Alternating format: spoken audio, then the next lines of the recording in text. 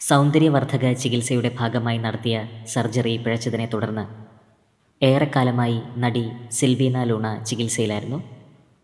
ഇപ്പോഴിതാ നാൽപ്പത്തി രണ്ടാം വയസ്സിൽ പ്രിയതാരം അന്തരിച്ചു എന്ന നടുക്കുന്ന വാർത്തയാണ് പുറത്തു വരുന്നത് പ്ലാസ്റ്റിക് സർജറിക്കിടെ സിൽവീനയുടെ ശരീരത്തിൽ പ്രത്യേകതരം ടോക്സിക് സബ്സ്റ്റൻസ് കടന്നുകൂടി. പിന്നീട് വൃക്കകൾ തകരാറിലാവുകയായിരുന്നു.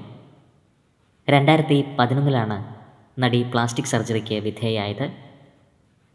ശേഷം വൃക്കകൾ തകരാറിലായതോടെ സിൽവീന ഇത്രയും കാലം ചികിത്സയിലായിരുന്നു. ഡയാലിസിസിന് വിധേയായി.